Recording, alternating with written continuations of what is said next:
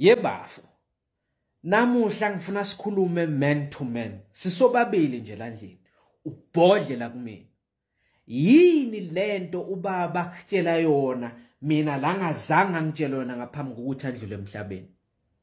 Friday ngibuya le office la ngizama khona amatoho. Ngifika nenyama ebovu.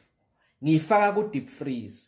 Ubuya letshwa leni wena lapho ubuchuba khona ungena nabangani bakho nikhipha yonke lenyama neyirosta. Mangikubuze ekseni ukuthi nadla yonke lenyama nayiceda sesawushibangani uthi wena ngingakubaliseli ngensila yamazinyo. Bafu ayipheli lapho. Izolo ungena nentombi yakho. Anginankinga nokuthi uze nochiri la khaya.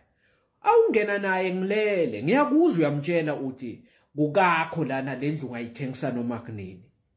Ithi le ntombazane cobo indle engaka uthi wena yakamla.